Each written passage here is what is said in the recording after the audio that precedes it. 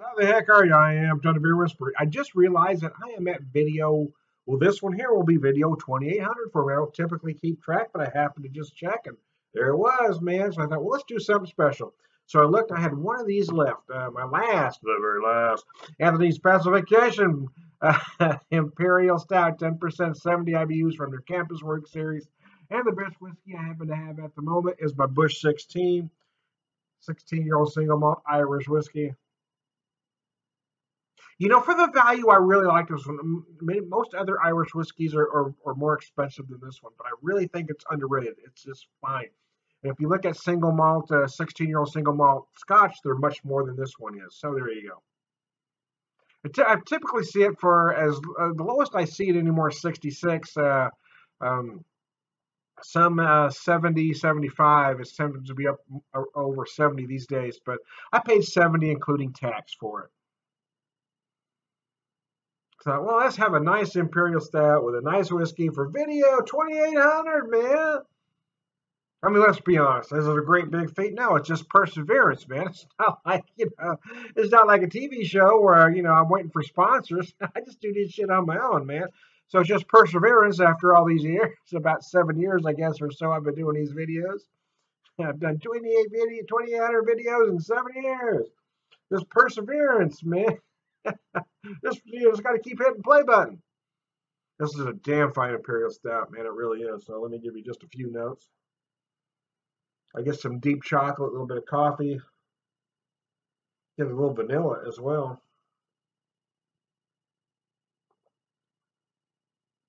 Oh, they call oh gosh, oh that is gorgeous. They call it a uh, Russian Imperial Stout. To be honest, it, it, feels like sort of a hybrid between a, a Russian Imperial Stout and, and a big Irish FES because it has it, it, finishes very dry and clean and not as sweet as most uh, Russian Imperials, but it, it's, it's a little bit it's not, it's not quite as dry as an FES. To me, it almost feels like a hybrid of the two styles.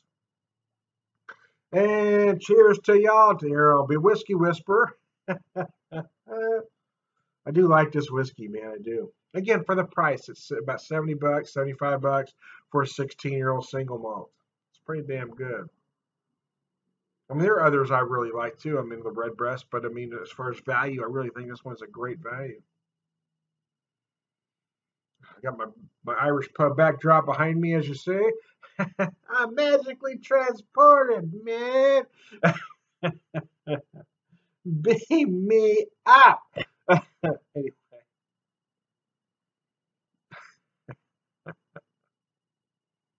Video 2800, how about that?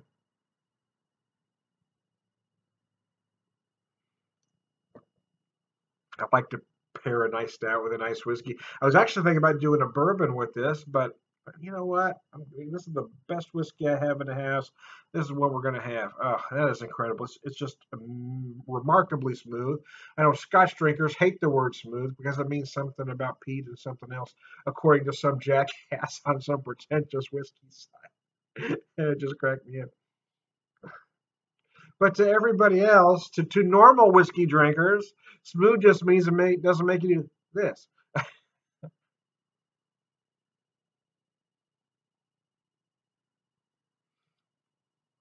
Some toffee-like sweetness in there, uh, a nice portion of vanilla. I feel some oak near the end, uh, just a, the slightest hint of spice from the bourbon barrel.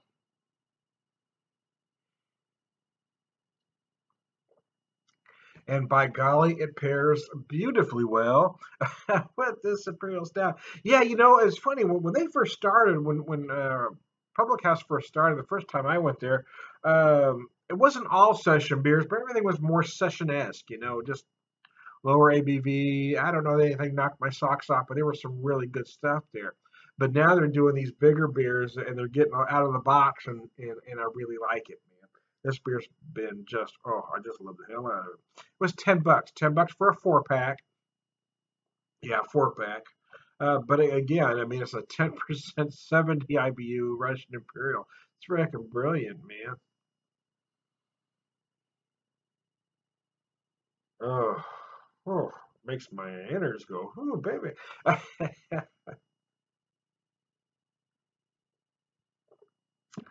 Oh man, it gives me a chubby. It's that good. Oh man, between that and the whiskey, oh my god, I don't know which one's making me stiffer.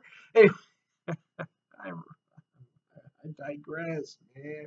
So there you go. Hey, this video 2800, man. How about that? Remember when I hit video 100? That, that was something. 200, 300, 400, 500, 600. Kind of quick, quick, quick keeping track at some point. A lot of folks number theirs. I've never done that. And I just happened to would, would catch it. So I go 800, 1,000, you know, 2,000. And then I kind of, then I really did lose track. And now I'm at video 2800. Don't know how I got here. I try to keep track, so, you know, when I hit 3,000. I don't know if I'll keep track of 2,900, but if I find it, I'll, you know, but I really want to do a 3,000. Hey, I'm still here, man. Too much, much to the chagrin of some tight ass beer and whiskey drinkers. Uh, the snobs don't tend to like me very much.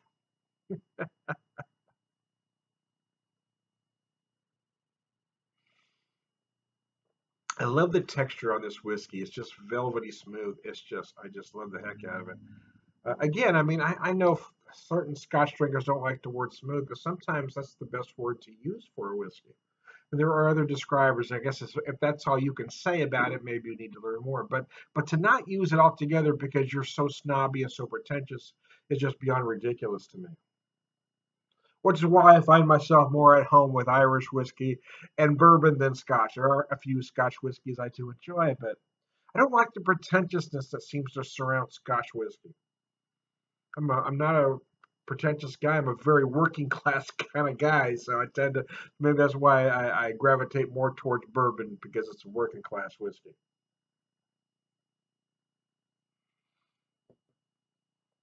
Ah, cheeseburgers, that's good. Oh, mercy, person. Damn, damn, skip it, baby.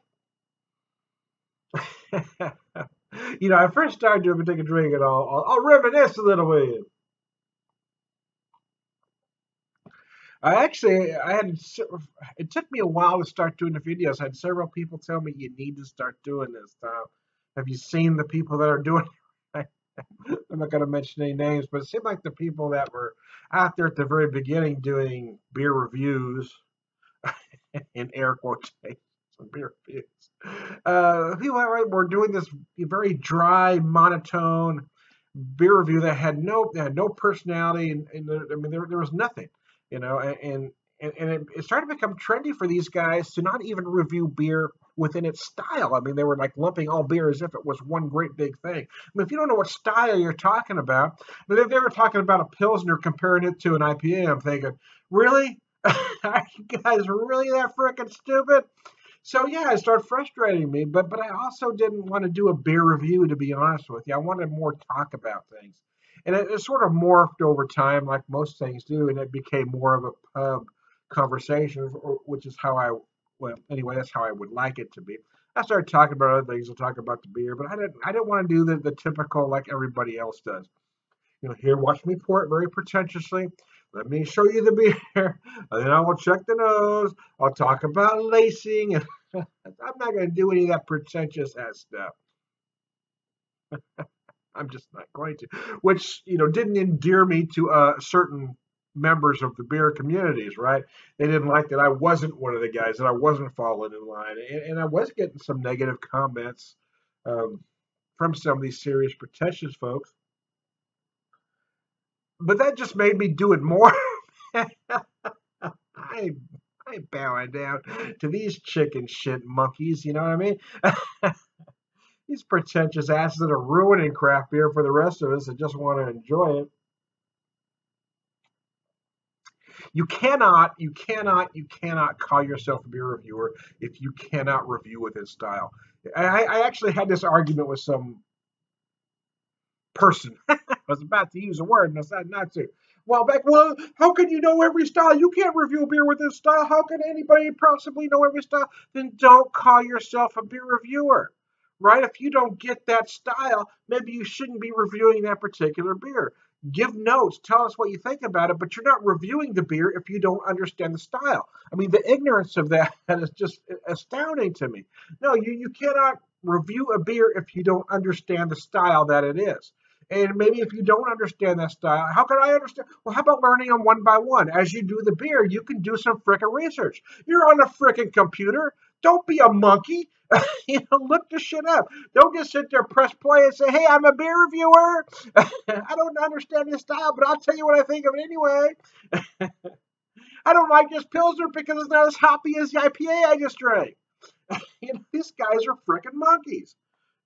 They're jackasses, and they don't know their ass from a hole in the ground. That's why they don't want to review the beer within stock because they don't understand any of it. But but they want to somehow get free beer or try to make some money, calling themselves a beer reviewer, even though they have no business doing so.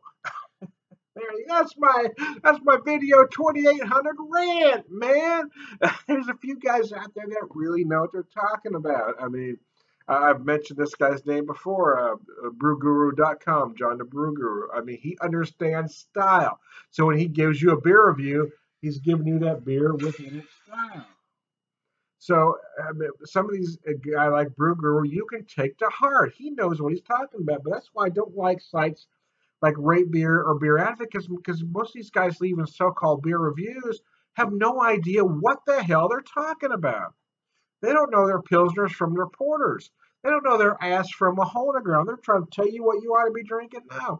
Don't pull up those. If you go to the beer cooler and you're not sure what to order, don't look up Beer Advocate or, or RateBeer. Because if you do, it just tells me you're ignorant. pull up. pull up the brewer's website. Just get the particulars on the beer, or or you know, pull up the style and, and, and read up on the style you know, from whatever origin that style is. Uh, you know, you don't look at those two sites; they're they're they're uh, no help whatsoever. Because they'll give you, uh, you may find a few coherent reviews, but for the most part, you're going to get on there and you're going to get misinformation. That's what you're going to learn misinformation. That's what's happened is a lot of these so-called beer reviewers, you've, you, is you've had person upon person learning from misinformation. Uh, I thought I was done with the rant, but I just continued on with it a little bit.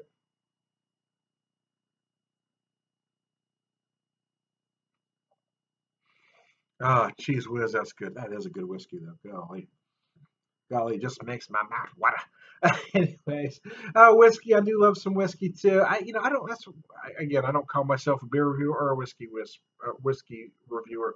I'm just a guy that loves both. I'm passionate about both. So the videos I do, uh, I hope, show that passion. I'm not here to tell you what you ought to buy or what you ought to be drinking. I just want to show you what I'm passionate about and, and hopefully maybe entertain y'all a little bit. You know?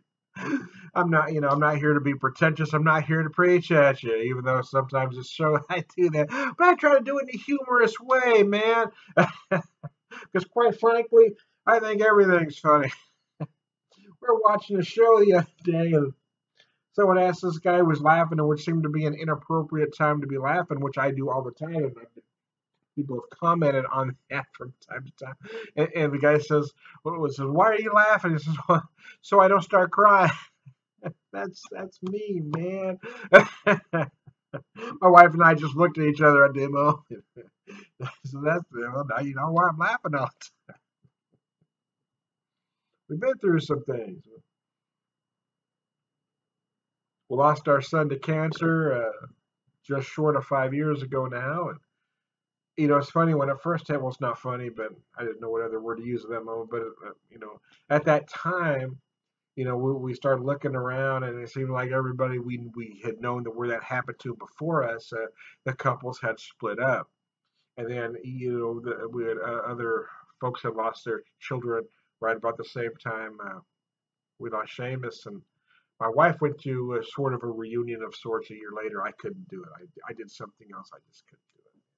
But anyway, um, uh, the couples that were together you know, before had split up in, in that year's time.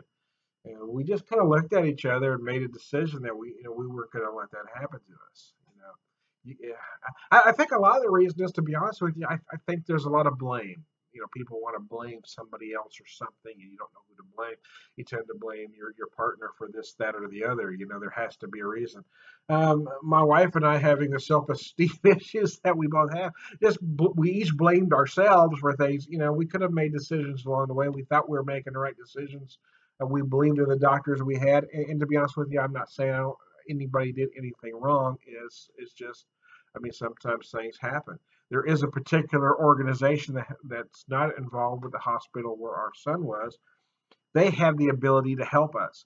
You know, I'm not going to mention their name right now, but uh, you know, they, they claim they help everybody. they don't deny anybody help. They don't deny anybody treatment. And and to be fair to them, I suppose they didn't owe us anything. They weren't obligated to help but it was our last chance. And, and, and, what they had may not have helped us, but they had the ability to help and they chose not to. So I will not support that organization. I just killed me at Christmas time when you see all their damn commercials and they're all over, you know, uh, you know NBC's interviewing the lead person, uh, you know, an actress of of a bygone era who wasn't really that big in the first place. But her dad was well known. All of a sudden, she's a spokesperson I just get tired of hearing what a wonderful organization this is when I know for a fact, not my opinion, for an absolute fact, they had the ability to help my son and, and they didn't. Now, would the treatment that they denied us cured him? Well, we don't know, or, or sent him into remission. Uh, we don't know. It may not have done anything.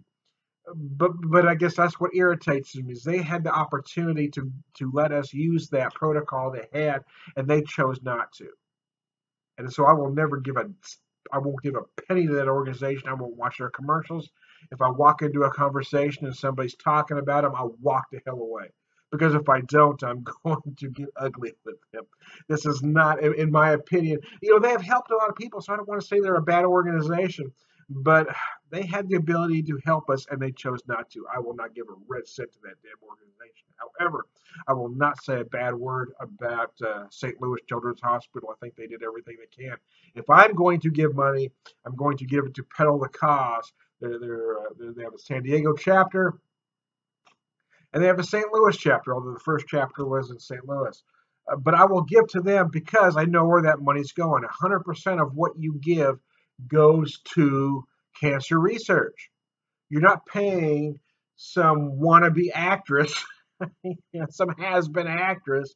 You know, you know, you're 100% of what you give.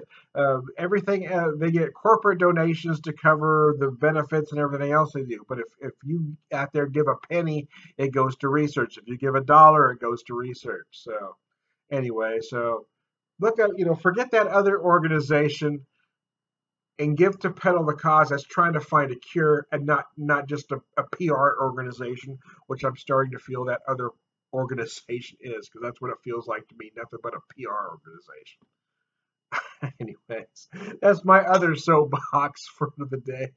I when I get talking about that boy, mm, listen, I'm not going to mention the name, but it's not hard to figure out who I'm talking about if you're paying attention. Anyway. I probably talked as long as I need to. Hey, I want to just want to thank people that have supported me for 2,800 videos. I've had folks that have stuck with me from the beginning. I've had folks that, that I piss off, and I've got folks that love what I do. Uh, but I just want to thank anybody that's ever watched a video, whether you love me, hate me, or just don't give a rat's ass. Either way, I am Tom the Whiskey Whisperer. Oh, that's some damn fine whiskey.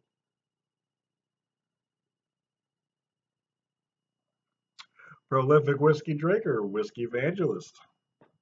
I'm also, I say, I'm, I'm, I'm a little, I have a dual personality, man. I'm also Tom the Beer Whisperer.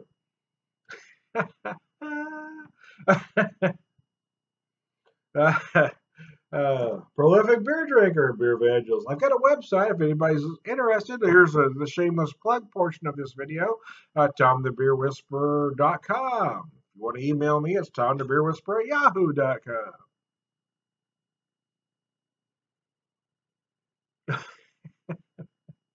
anyway, I digress. Uh, uh, let me go pick up the whiskey again. I am Tom the Whiskey Whisperer, whiskey evangelist, prolific whiskey drinker, purveyor wisdom, man. I am Tom the Beer Whisperer, beer evangelist, prolific beer drinker, purveyor wisdom, man. Me pick them both up. And all around, good guy. Cheers and thank you all for for having faith, man, sticking with me. I love y'all. Well, I don't really love you. It's just something we say. some of you I like to love, some of you not so much. Have a good one.